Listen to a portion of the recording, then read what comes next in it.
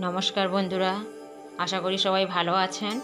তো Sujata blog with মেয়ে চ্যানেলে আবারও আপনাদেরকে সবাইকে স্বাগত জানাচ্ছি।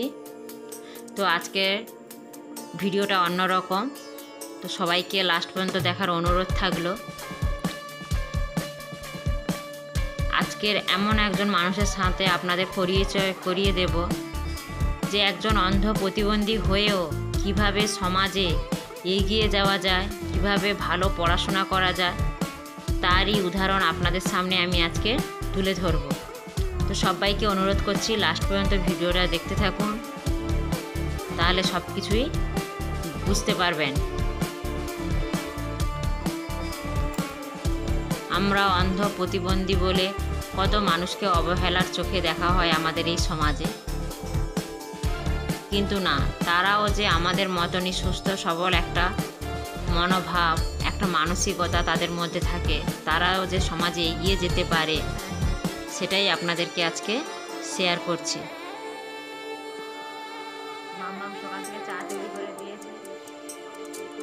তো আপনাদেরকে প্লাইমারটা দেওয়া দেখিয়েছিলাম কাঠে আর এখন হচ্ছে রং করা হচ্ছে দরজাতে। তো আপনাদের দাদাভাই এখন রং করছে।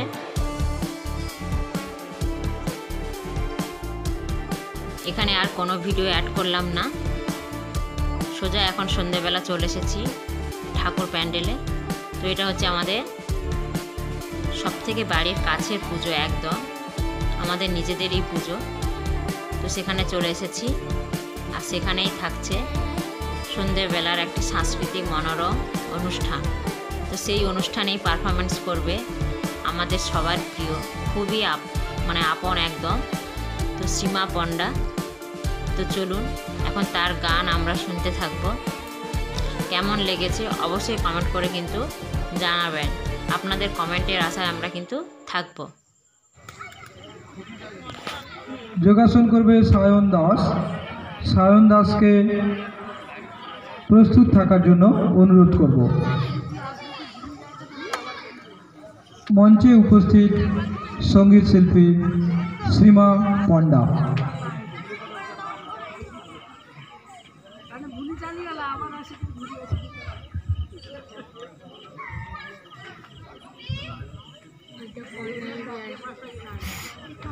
আমরা সীমা পণ্ডাকে সবাই জানি, ছোটোবেলা দিয়েই প্রতিবন্ধী, কিন্তু গানের গলা অসাধারণ।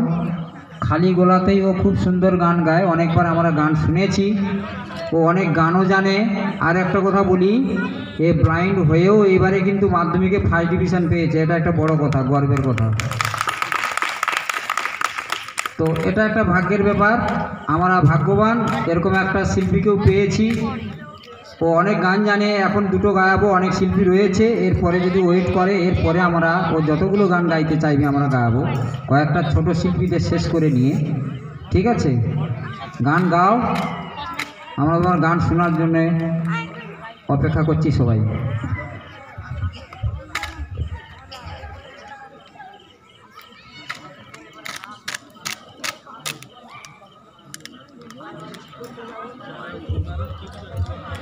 সংগীত পরিবেশন করছে সীমা পণ্ডা।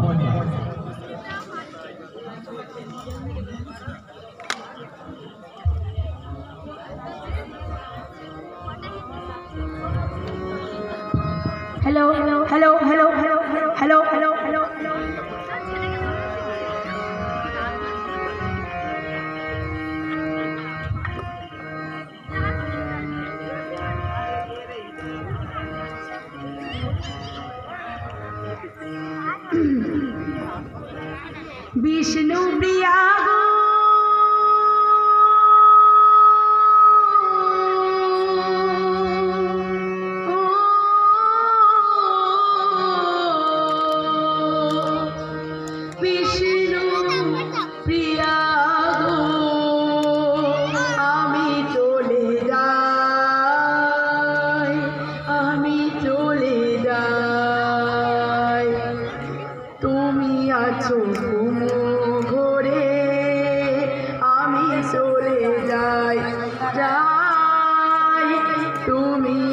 Thank you.